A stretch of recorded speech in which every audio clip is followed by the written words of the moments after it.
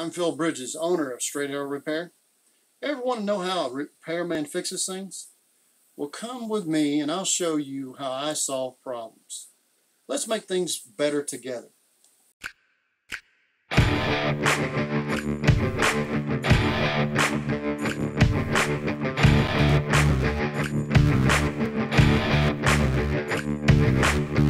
Hey, good to have you here. Um, what we're doing today is replacing doors that were put in a while back and they were put in wrong evidently or they became out of square. You can see where they took a chisel and chiseled out and sanded but you see this gap over here where it's not it's wider than down there tilted over so they still this needed to go little lower. So you keep that gap all the way across. Instead was rubbing over. And uh, they, they had to chisel that out to get it to close. But now it's been leaking so long they rotted out the one by four trim that they had in the bottom of the door. And so we're going to replace this door. Going to take this wide trim on the outside, which is called brick mold. Which, by the way, you can get this stuff in plastic and it won't ever rot. at least not that I've seen in 30 years. Um, I think it'll discolor before it rots. Yeah, and you can paint it. This is done with finger joints. I don't know if you can see that. Right there, they finger jointed that. So, a lot of times this stuff falls apart. This particular side has been protected and they put a lot of nails on it.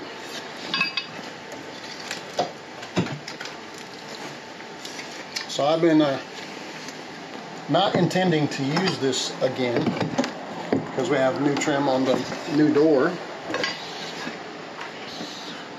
I'm not worried about trying to keep it. Most of the time this stuff falls apart.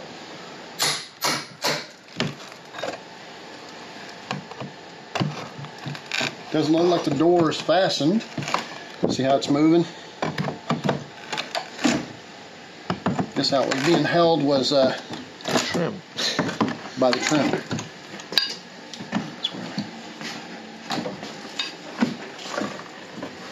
That the correct way? Huh? Is that the correct way? No.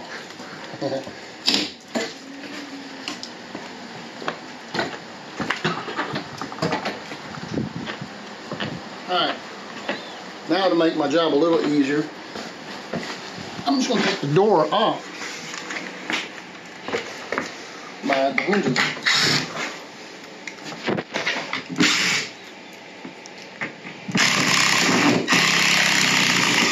That was held by a longer screw.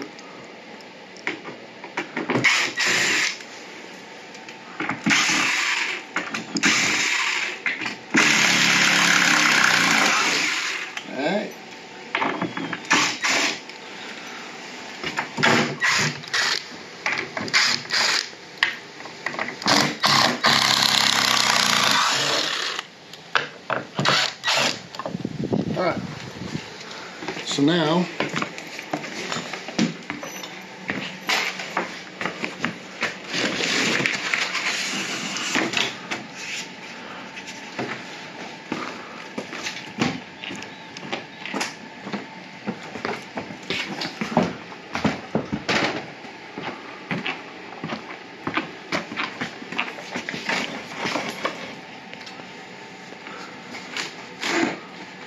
screws are holding right there.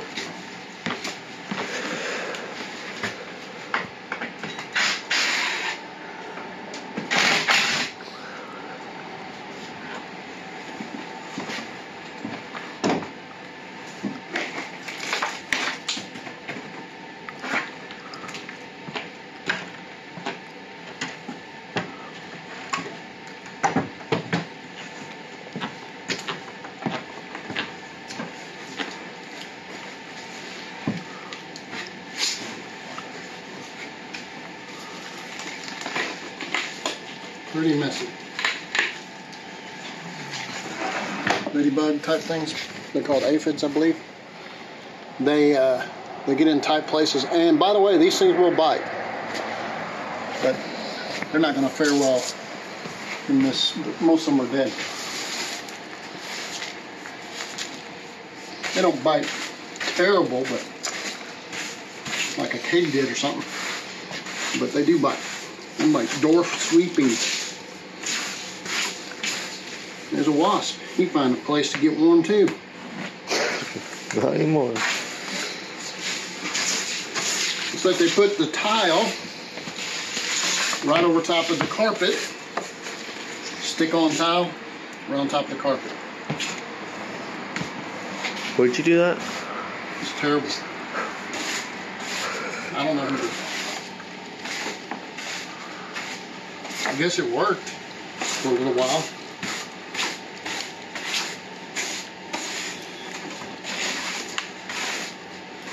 Um,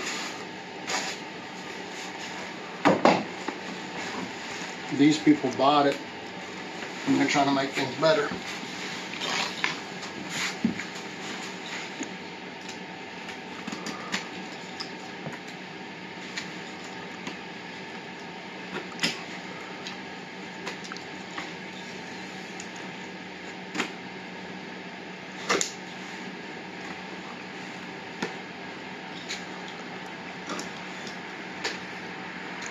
All right. To know that we got to have at least 37 and a half inches, and boy, that's close. Might need to take that out. Hopefully not. Maybe just hammer it over. Me check the middle. 37 and 3 eighths. Tight.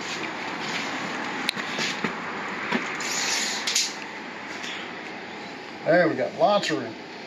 38, 5 eighths of an inch more.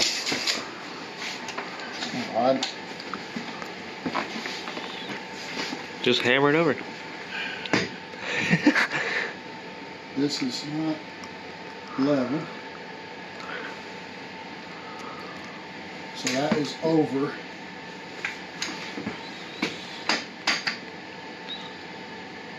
And that is needs to come this way on the top.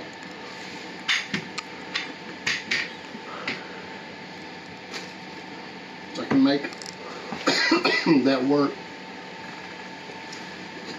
And then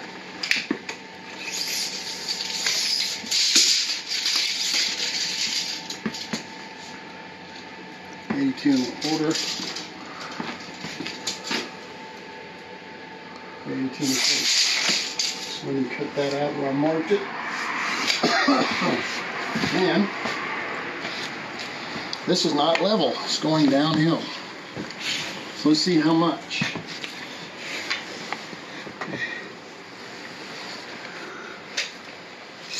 I'm gonna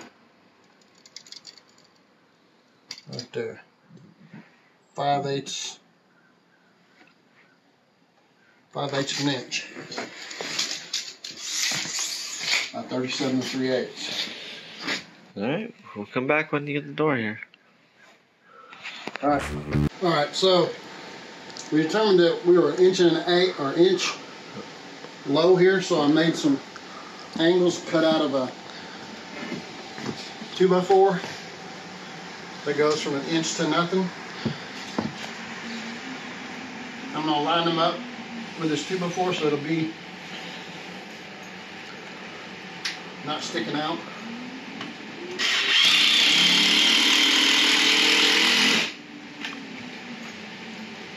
Using longer screws. On this end.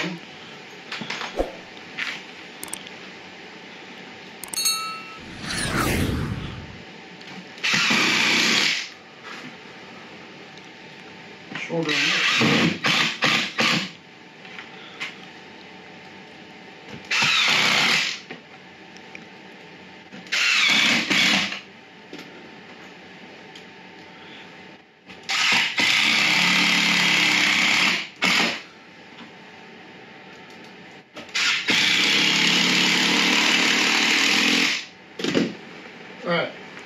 So we determined that we were an inch and an eight or inch low here, so I made some angles cut out of a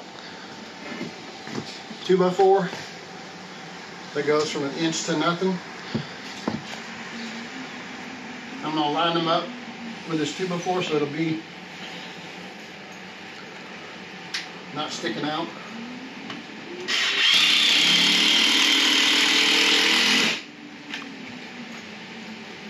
Using longer screws. On this end.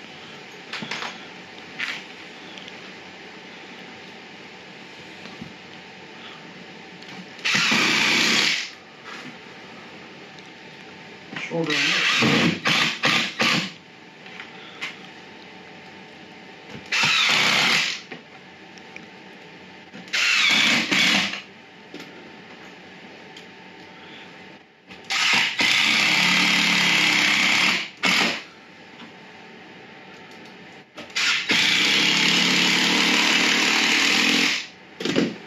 All right.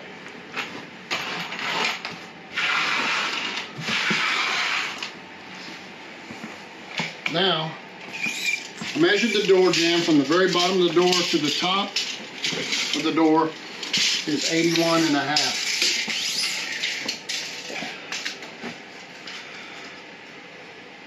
So, definitely gonna have to cut this right here.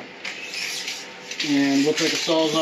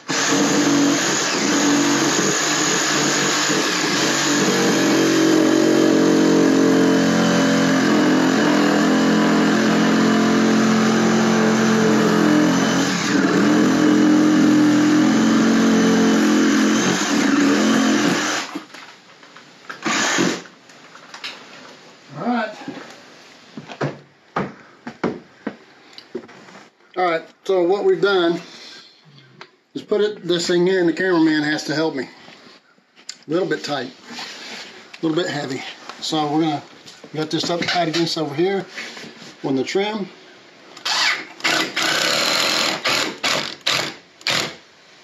Mind I taken that out and putting a shim on it. But thing about screws is you can take it back off. Pretty tight until we get up here. Can we hold those shims for you?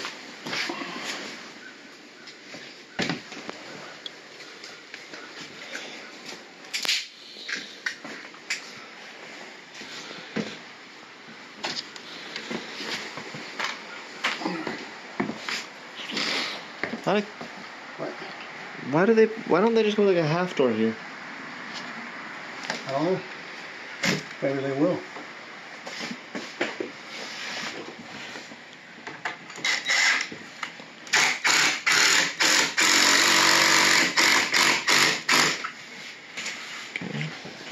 Mm, that's not good. What's wrong? It's uh got a gap.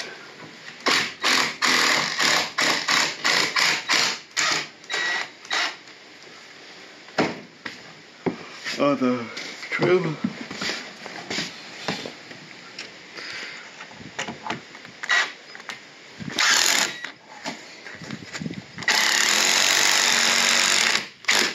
Alright. Let's see how the door does. That's fine. Looks like it's hitting on the bottom first. We still need to go up over here, looks like. Because it's wider over there. We come down here? Either that's got to go up or this has got to go down. That side needs to go up. Yeah. Okay, shim time. So what we're looking for is get to get this gap right here, which can't be changed because these are fastened. They'll be the same gap all the way across. So I'll take the screws loose over there, slide a wedge under, and try to get this up, which will lift this at the same time. But the gap right here looks pretty good. It look to be further in here. That probably means that we're hitting on the bottom before we're hitting on the top. So when you look on the outside, I mean the framing on this is off. Actually hitting the top before the bottom.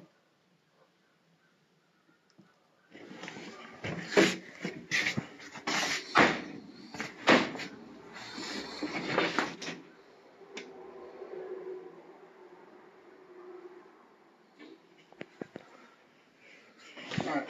That looks pretty good. Will have to come back. So I know I put it over here tight, but we'll have to pull it this way because the framing's not level. Okay. All right.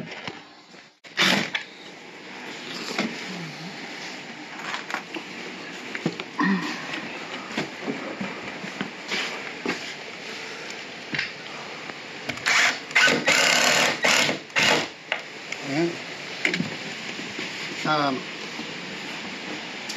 I think we're gonna have to pull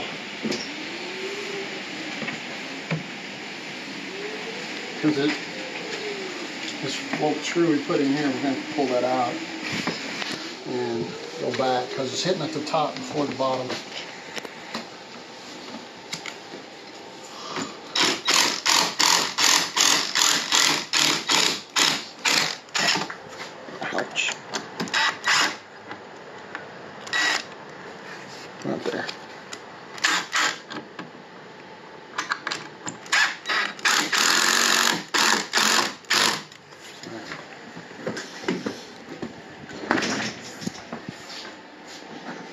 It's here at the bottom.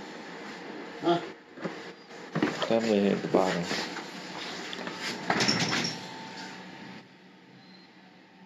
I mean, that's. You, I think that would be good if you put these in. Well, Where's the door? the top needs to go over a little more. No. Come here. Look, this is meeting here, but not down there. Maybe the metal clad doors got bent a little bit.